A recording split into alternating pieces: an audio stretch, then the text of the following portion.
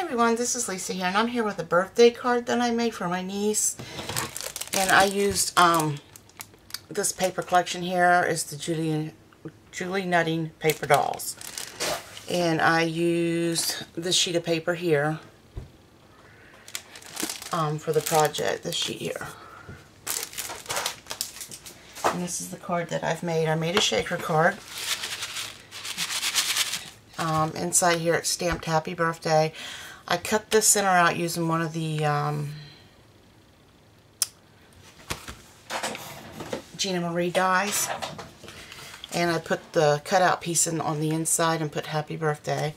I put some feathers here and a little cupcake and some little acrylic flowers on the um, outer edges and then the little girl here. And, it, and I'm not going to show you the inside. I did put a sentiment, but I've already signed the card. It just says, may your birthday be as special as you are.